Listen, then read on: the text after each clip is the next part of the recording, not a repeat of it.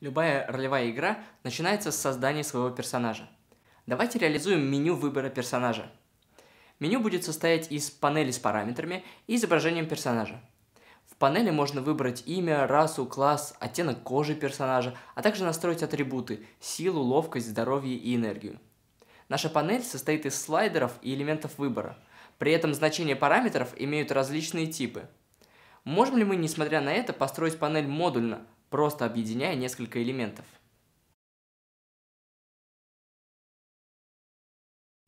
Поскольку параметры в панели разных типов, мы не можем использовать моноиды. Нам нужно что-то другое.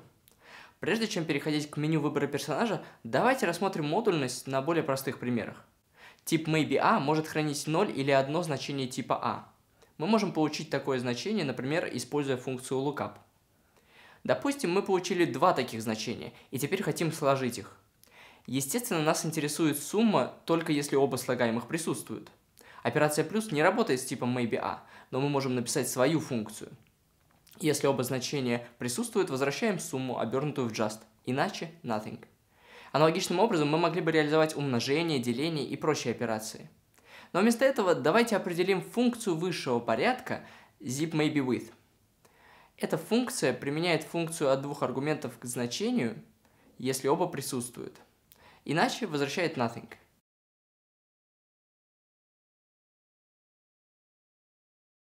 Заметим, что тип zipMaybeWith похож на тип fmap для maybe. Функция fmap работает с функцией одного аргумента, а функция zipMaybeWith с функцией двух аргументов.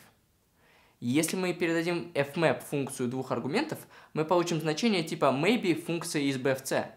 Чтобы применить эту частично примененную функцию ко второму аргументу, нам нужна функция, принимающая два значения maybe на вход. Первое с частично примененной функцией, а второе с аргументом. Функция fmap здесь бессильна, а вот zipMaybeWith мы можем использовать, передав ей операцию применения функции – для операции применения функции существует явный символ – доллар. Хорошо. Можем ли мы скомбинировать три значения maybe? Если мы частично применим функцию zipMaybeWithF к первым двум значениям, мы получим значение типа maybe из C в D. Эта ситуация напоминает ту, что у нас была с fmap. И тут мы можем использовать zipMaybeWith еще раз, применив функцию к последнему аргументу. Аналогичным образом, применяя zip maybe with нужное число раз, мы можем скомбинировать любое количество значений типа maybe. При этом каждый раз нам приходится использовать ее для аргументов вида maybe функция и maybe a. Давайте реализуем функцию, комбинирующую maybe функцию и maybe значение. Функция upMaybe применяет функцию к аргументу, если оба присутствуют, иначе возвращает nothing. Используя fmap и upMaybe, мы можем скомбинировать произвольное число maybe значений. Такие функции, как lookup, используют nothing в качестве сигнала об ошибке. Если у нас в программе много вычислений, которые могут завершиться неуспешно, мы можем объединить их при помощи fmap и appmaybe. Но в таком случае мы потеряем информацию о том, что пошло не так в случае nothing. Например, если мы вычисляем выражение с переменными, и для какой-то переменной не определено значение, nothing не сможет указать нам неизвестную переменную. Чтобы получить больше информации, используем either string. Строка в конструкторе left может сообщить нам, например, имя неизвестной переменной. Мы можем объединить несколько значений either, определив функцию appEither. Как и в случае maybe, мы можем применить функцию к аргументу только если оба присутствуют. Иначе мы возвращаем первую ошибку. Используя fmap и appEither, мы можем скомбинировать несколько значений, которые могут завершиться неуспешно appMaybe и appEither позволяют применить функцию к аргументу, проводя необходимые сопоставления автоматически. Другими словами, эти функции производят автоматическую обработку неуспешных вычислений. Таким образом, обработка maybe и either становится побочным эффектом, не требуя от программиста производить сопоставления вручную. Рассмотрим другой тип эффектов. Поскольку в Haskell функции чистые, Случайные значения могут быть получены только при помощи чистых генераторов псевдослучайных чисел. Мы можем определить такой генератор самостоятельно, используя просто тип int. Чтобы получить случайное число типа int, используя наш генератор, мы просто вернем его как есть. Чтобы получить следующее значение генератора, воспользуемся линейным конгруентным методом, который представлен простой формулой. Давайте теперь определим случайный бросок кубика. Бросок кубика – это функция, принимающая на вход генератор и возвращающая случайное число от 1 до 6. Давайте бросим кубик трижды. Определим функцию 3dice. Поскольку мы используем тот же генератор, эта функция вернет три одинаковых значения, ведь функции у нас чистые – Давайте модифицируем функцию броска кубика, чтобы она возвращала новое значение генератора, кроме значения кубика. Теперь мы можем использовать результат предыдущего броска кубика, чтобы получить новое случайное значение. Реализуем функцию 3dice, возвращающую список из трех случайных бросков кубика. Эта функция будет принимать на вход генератор и возвращать пару список значений кубиков и новое значение генератора для дальнейших вычислений. Для того, чтобы бросить очередной кубик, нам нужно получить генератор, полученный от предыдущего броска. Заметим, что dice и 3dice имеют схожий тип. Они обе принимают генератор на вход и возвращают новое значение генератора на выходе. Мы можем таким же образом объединить функции генерации случайного числа и следующего генератора. Переопределим dice при помощи новой функции rand. Поскольку все функции, работающие с генератором, будут принимать его на вход и возвращать на выходе, определим тип обертку rand – Тип rand A теперь представляет случайное значение типа A. Чтобы получить такое значение, мы можем раскрыть обертку и передать генератор на вход. Мы можем переписать функцию rand в значение типа randint – случайное число. Заметим, что rand – функтор. Действительно, мы можем применить чистую функцию к случайному значению, чтобы получить новое случайное значение. Поскольку функция чистая, нам не нужно создавать новый генератор. Новое значение – будет обернутой функцией, которая принимает на вход генератор, вычисляет по нему случайное значение типа a, а затем применяет чистую функцию f.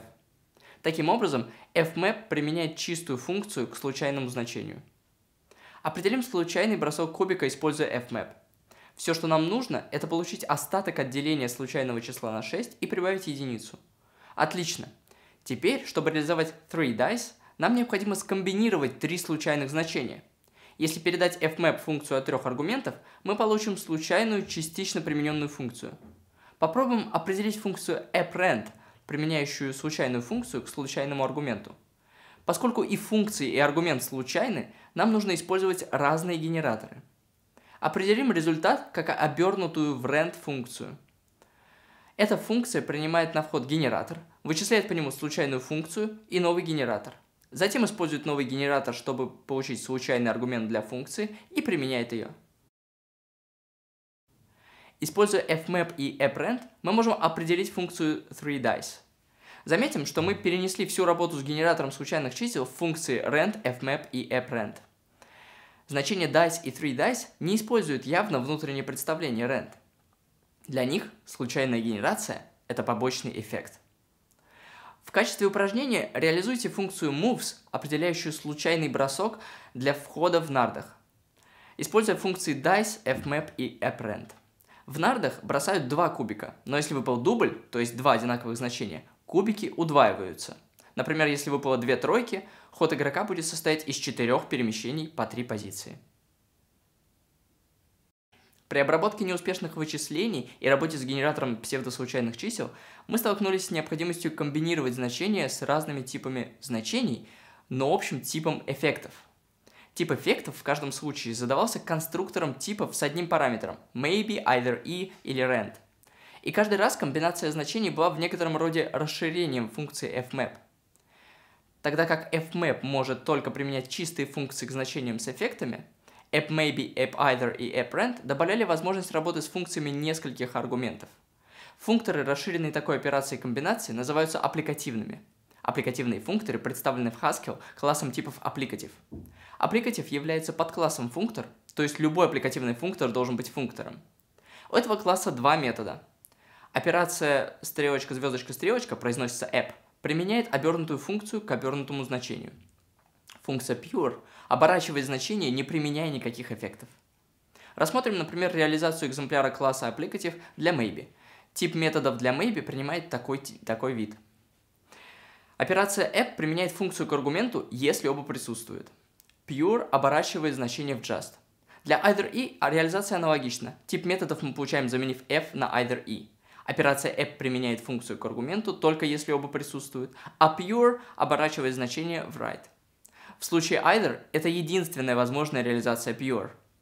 Для rand реализация экземпляра класса типов applicative также проста. Операция app применяет случайную функцию к случайному аргументу. Реализация повторяет функцию appRand, которую мы реализовали ранее. Pure x – это случайное значение без эффектов. Иными словами, постоянное, которое не использует генератор случайных чисел. В качестве упражнения реализуйте экземпляр аппликатив для конструктора типов error.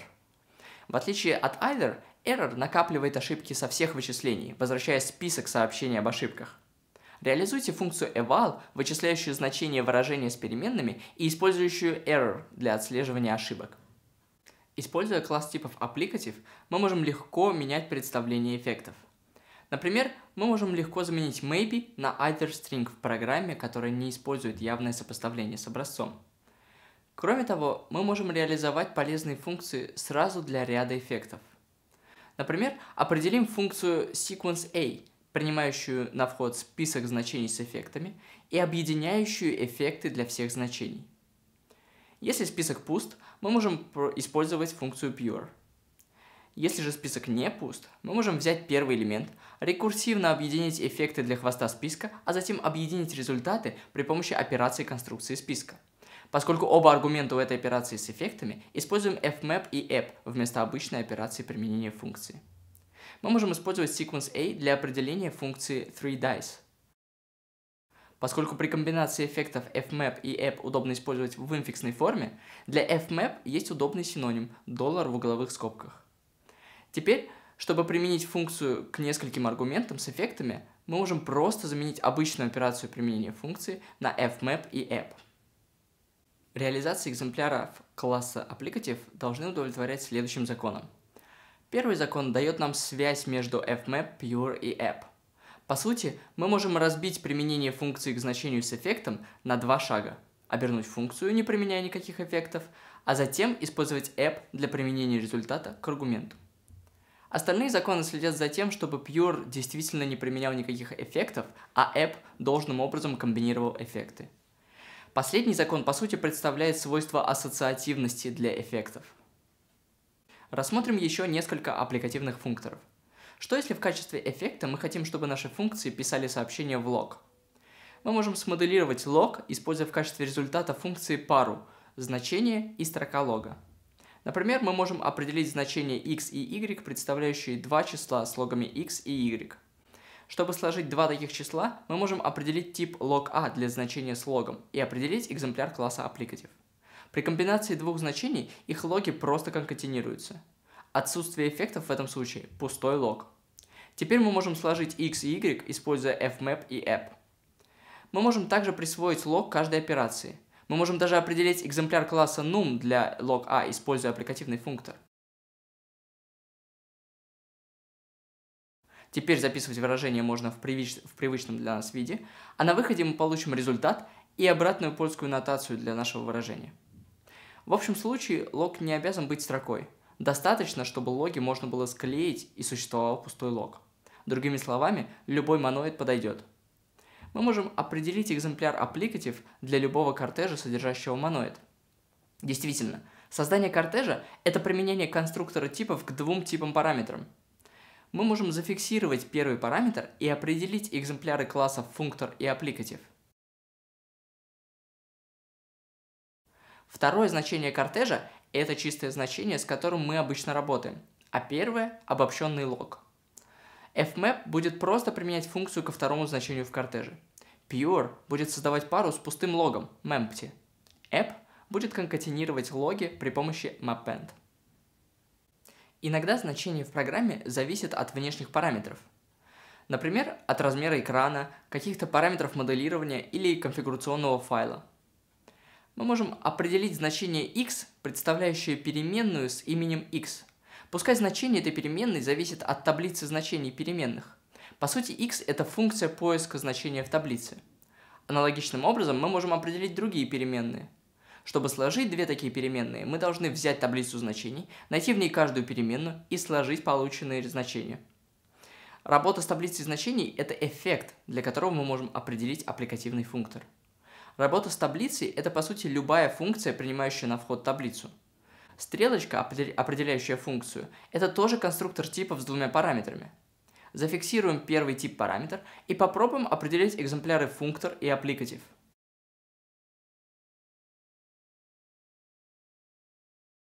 fmap применяет функцию f к результату функцию g. Другими словами, fmap – это композиция функций. app комбинирует две функции с общим параметром. Результат – это функция, которая принимает параметр на вход, вычисляет каждое из двух значений и применяет функцию к аргументу. Pure будет просто игнорировать параметр. Вернемся к созданию своего персонажа. Мы можем построить панель с настройками персонажа модульно, определив конструктор типов panel. Тип panel A представляет панель с настройками объекта типа A. В нашем случае наша панель будет иметь тип Panel Character.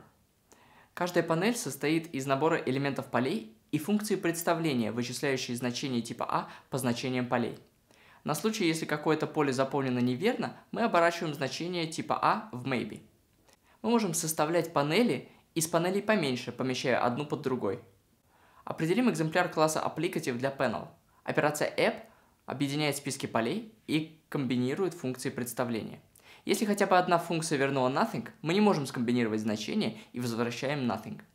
Функция pure создает пустую панель, в которой функция представления возвращает заданную константу, обернутую в just. Для каждого типа поля определим функцию, строящую панель из одного поля этого типа.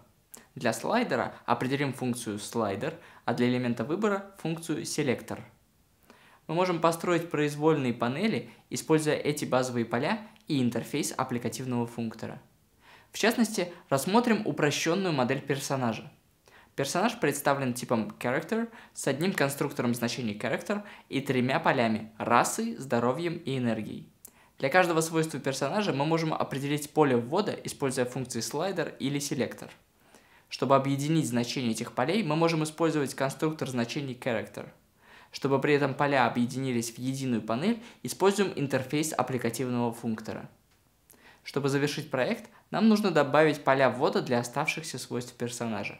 Для этого используйте интерфейс аппликативного функтора и функции слайдер и селектор. Проект с меню выбора персонажа находится в описании под видео. Успехов!